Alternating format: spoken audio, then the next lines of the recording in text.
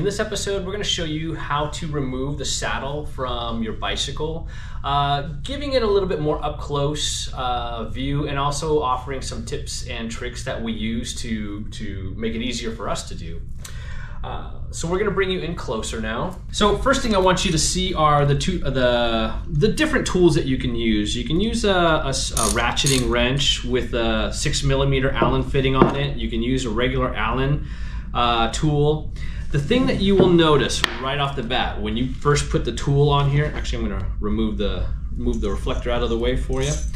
But the first thing you'll notice, or you might see these numbers on here, 22 newton meters. That tells you how tight um, that bolt is. And that's pretty tight. That's about 20 pounds uh, of pressure.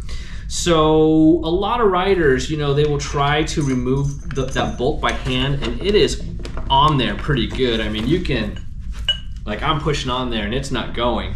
Uh, so it's not a reflection of how strong you are. 22 newton meters is is a lot of force. So the longer your tool, the better. The bigger the tool, the better. Um, this is probably as skinny as a tool as it gets, and it's kind of hard to, to grip. It's pretty short, so you don't have a lot of leverage. So if you have something like this at home, you can use this. It gives you a little bit more leverage. You can see I can bring it out more if you don't have anything um, as big as this, and you're only stuck with one of these little Allen keys, even if it's something as small as like those IKEA Allen keys, you can grab something like a tube. I have an old seat post that I'm going to use, and if you just slip this seat post on the end, you've now basically extended your grip into uh, however long your pole is. And this gives you a tremendous amount of, of leverage. And so this is a standard bolt. It turns right for tight and left for loose or counterclockwise for loose.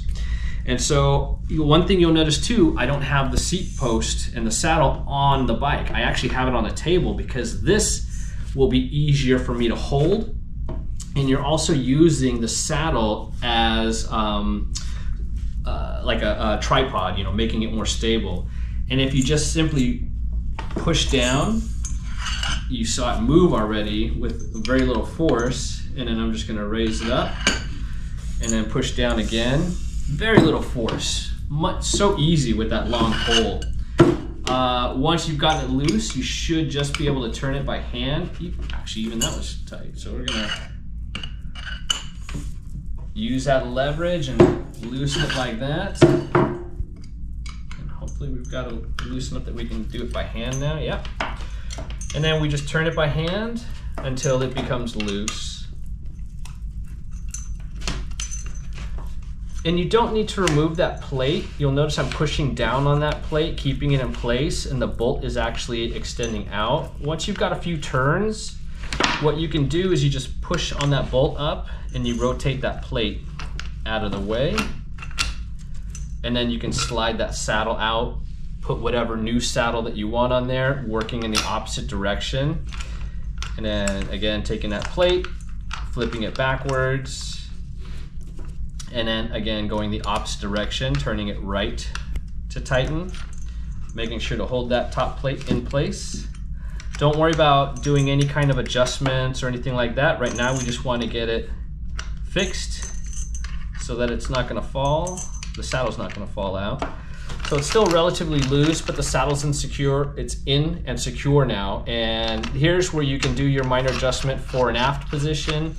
You can do that um, angle adjustment. And then once you've got everything where you want it, you just finish tightening it down. Again, you turn it to the right to tighten. And then once you've got it, you know, hand tight, you get back to that bar or that tube or whatever you were using for leverage. Now what I'm going to do also is I'm just going to flip the saddle around since I'm tightening it now and I want to use that leverage here. Get my breaker bar and then again I'm just going to use gravity, hold that saddle and then just push down to tighten. Readjust it. If you have a torque wrench, definitely use a torque wrench. Set it to the appropriate setting but in this case, I'm going by 30 years of experience and feel. That's about Good right there.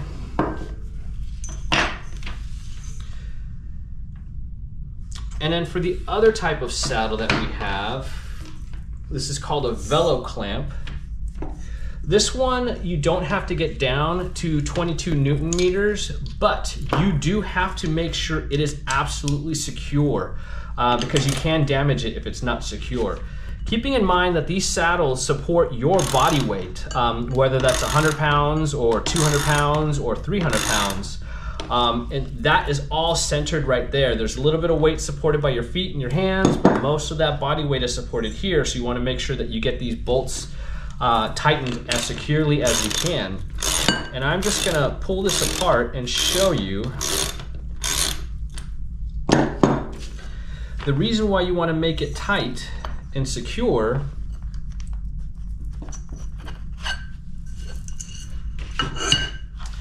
is there's a um, reading or knurling on the inside between these two plates. So I'm gonna pull this bolt out.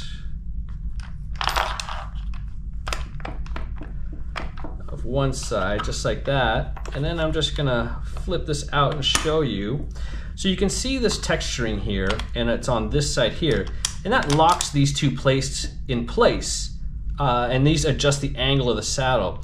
And what can happen is if you do not tighten this bolt down sufficiently, the saddle can slip with that body weight on there. And when it slips, you've now ground down these um, teeth on here, which helped hold the saddle. So now, no matter how much you retighten it, it's always gonna slip. You have to replace this because there's damage. So to prevent that damage, again, you just want to absolutely make sure that you have that bolt tightened down to its proper specification. And that is, in short, how you would tighten and loosen a saddle